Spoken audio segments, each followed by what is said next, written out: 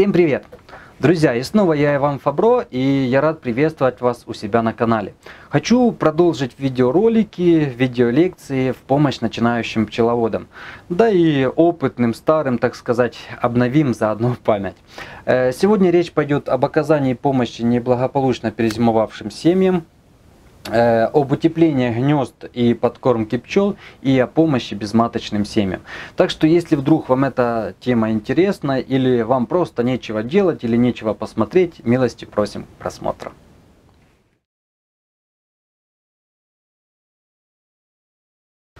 Итак, оказание помощи неблагополучно перезимовавшим семьям. Ослабевшие за зиму пчелиные семьи до нескольких улочек, до двух-трех, нуждаются в пересадке в чистые, продезинфицированные двух-трехместные нуклеусные улья для взаимообогревания. Кстати, сейчас будет рекламка, так как для таких целей, для таких семей, для их комфортного пребывания и хорошего развития очень хорошо подходят ульи-шестирамочники из ППС, малоформатные улья, которые помогут пчелкам восстановиться э, за счет компактности, поддержания пчелками температурного режима без особых усилий, так сказать, без использования чрезмерных э, жизненных ресурсов и так дальше. Так, пчел мы пересадили, идем дальше. Слабые семьи э, обеспечивают кормом, сотами для работы маток и хорошо утепляют. Если эту работу выполнить после установившейся теплой погоды, то есть э, в момент проведения основного осмотра э, главной весенней ревизии, то очень часто такие семьи, они разлетаются по другим благополучным, сильным семьям, теряя при этом своих маток. Каждая пчелиная матка в ранневесенний период равна по номинальной ценности пчелиной семье. Весной с матками очень туго. Следует помнить, что семьи пчел в первое время после облета продолжают э, ослабевать э, за счет интенсивного отхода, отмирания старых пчел. Поэтому шансов на самостоятельное сохранение и без того очень слабых семей с каждым днем становится все меньше и меньше. А подсиливание в это время от слабых семей расплодом э, речи быть не может, так как они не в состоянии обогреть рамку с расплодом. И он погибает или может заболеть, например, аскосферозом или гнильцом, что очень плохо. Также слабые семьи лучше присоединять к средним по силе, э, силе семьям или соединить вместе 2-3 семейки слабых. Такая сборная семья будет нормально развиваться и в мае-июне уже можно будет от нее делать отводки с целью восстановления численности семей, э, семей на пасеке.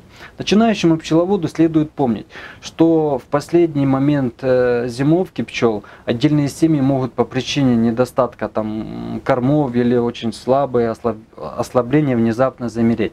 Если пчеловод это обнаружил в течение одного-двух дней после начала сцепенения, то такие семьи можно оживить.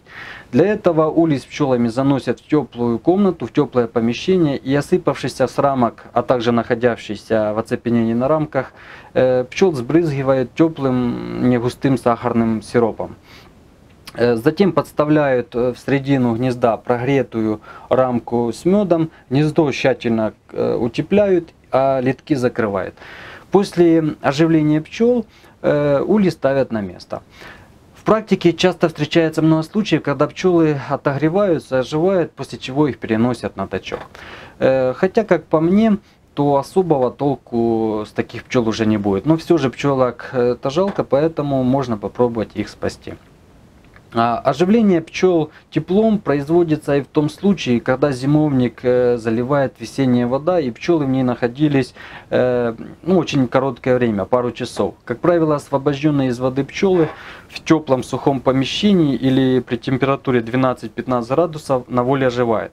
По крайней мере, так пишет литература. Сам лично в воде пчелок я не купал, не скажу.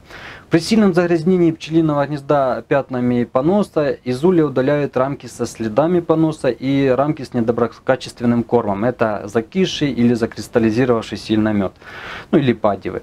На их место поставляют светло-коричневые соты в гнездо э, с теплым сахарным сиропом или ставят разогретую медовую рамку с медом. По ходу осмотра гнезд заменяют грязные корпуса и донья. Э, в идеале должно быть все заменено, корпуса и донья на пасеке, которые вышли из зимовки. Однако не всегда может быть достаточный их запас. Тогда поступает так. Э, вначале меняет то количество корпусов и доньев, которые имеются в наличии, а освободившиеся части ульев донья затем чистят, моют, дезинфицируют и сушат. А на следующий день их используют в качестве э, подменного материала. И так поступает, пока э, не закончится осмотр. Теперь давайте рассмотрим утепление гнезд и подкормку пчел. Хорошему развитию пчелиных семей весной э, способствует утепление гнезд и подкормка пчел. И подкормка пчел. Весенний период в каждой пчелиной семье должно быть не менее 8 кг меда и 1-2 рамок с пергой. Поэтому в первую очередь пополняют кормовые запасы Э, в тех семьях, которые страдают от голода, от нехватки кормов. В улей ставят рамки с медом или соты с теплым сахарным сиропом. Э, рамки с медом и пергой перед э, постановкой в гнездо в улей лучше распечатать в складе и сбрызнуть теплой водичкой. Пчелам будет легче. При недостатке меда пчел подкармливают теплым сахарным сиропом в количестве, которое необходимо для создания требуемой нормы кормов. При подкормке пчел весной сахарный сироп готовят концентрации один к одному. Один сахар, один воды. Скармливать сахарный сироп пчелам лучше э, в кормушках в количестве 2-3 килограмма за одну подкормку. Кстати, друзья, рекомендую вам, а, особенно начинающим пчеловодам, да и опытным тоже почитать книгу ученого, ученого-биолога, специалиста по пчеловодству, доктора биологических наук Э, профессора Таранова Георгия Филипповича книгу «Корма и кормление пчел» э, где проведены э, сведения о основных кормах пчел, нектаре, меде, пыльце, перге и их заменителях, их химическом составе и физиологическом действии, о возможностях замены меда сахаром и пыльцы другими веществами, усваиваемыми пчелами. Описаны также способы обеспечения пчел кормами в разное время года – приготовления и скармливания их пчелами. Эту книгу, да и другие интересные книги можно приобрести у Тани, номер который я оставлю в комментарии. Ну, а теперь давайте вернемся к пчелкам. Э, гнездо пчел тщательно утепляют с боков и сверху, используя для этого подушки или маты, или теплые заставные доски. Э, хорошие результаты дают дополнительное утепление гнезд бумагой, э, помещенной поверх холстиков под подушки или маты, или положа пленку на гнездо. Литок сокращает до 1-3 см. По мере развития пчелиной семьи с наступлением теплой погоды и появления в природе выделения цветами нектара, литок потихонечку расширяет. Утепляющий материал, который мы используем для наших пчелок, должен быть э, сухим, так как при увлажнении у него повышается теплопроводность. Э, применять в качестве утепляющего материала сено и там, древесные опилки не рекомендуется, так как сено плохо сохраняет тепло, а древесные опилки со временем они слеживаются. Неплохо себя зарекомендовали для утепления пчел подушки из агроволокна и синтепона. Э, кстати, видео о том, как я делал эти подушки еще 6 э, лет назад, есть в подсказках в правом верхнем углу. Так что, если кому интересно, взгляните. Ну, а кто не может пошить сам подушки, можете обратиться к Алексею, он же Игоревич. Телефон его будет в комментариях. Он шьет подушки как раз на заказ. Ну а если вообще бюджетно хотите, то взяли, вырезали вкладыш из ППС за 5 минут и используем его как подушку или заставную.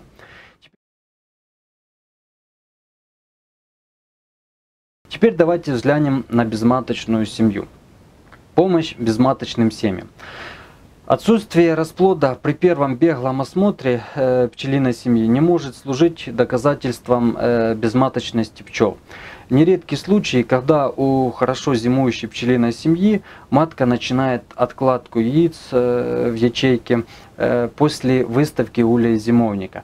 Если при первом осмотре пчелиной семьи пчеловод не обнаружил расплода в улье, рекомендуется поставить в гнездо контрольный сот, то есть рамку с молодыми личинками. Появление на этом соте через несколько дней там, свящевых маточников служит как раз доказательством э, гибели матки во время зимовки. Э, в этом случае пчелиной семье оказывают срочную, повторюсь, срочную помощь. Э, в сильную безматочную пчелиную семью подсаживают матку, которую, ну, купленную или взятую из нуклеуса, если он есть. А сам нуклеус присоединяют к слабой пчелиной семье или другому нуклеусу чаще всего им находившимся в том же уле, там, за глухой перегородкой. Э, сильным семьям дают запасных маток э, вместе с их пчелами и расплодом, э, при этом ну, раздвинув рамки и поместив в середину гнезда. Если в наличии нет запасных маток, то нет иного выхода, как такие семьи присоединить к менее сильным. Если исправляют среднюю по силе безматочную семью пчел, то к ней присоединяют весь нуклеус вместе с маткой, с пчелами и так дальше. Рамки с пчелами из нуклеуса ставят рядом с рамками исправляемой пчелиной семьи. Э, сбоку. Слабую пчелиную семью без матки не исправляют. Ее присоединяют к другой слабой семье э, с маткой или к нуклеусу. Оставлять на пасеке безматочные семьи и выводить в них э, рано весной маток нельзя, так как это приведет к слету пчел из безматочной семьи или воровству пчел на всей пасеке. Да и в принципе ранней весной выводить маток не имеет смысла, так как выведенные матки не могут оплодотвориться из-за отсутствия трутней трутней, а сохранять такие семьи до появления трутней за счет постановки э, рамок с расплодом других семей, ну это весьма э, невыгодно. Исправление безматочных семей э, лучше всего заниматься вечером, э, когда уменьшится лед пчел на пасеке. Э, для предотвращения драки э, между пчелами, которые мы соединяем, э, придают им общий запах э, при помощи там, разных эфирных масел или там, мятных капель. Некоторые пчеловоды не спешат исправлять безматочные семьи, э, ждут э, более теплой погоды. Это, как правило, приводит э, к усугублению э, недостатка, так как в скором времени в таких семьях появляются пчелы трутовки, которые осложняют присоединение семей к другим семьям.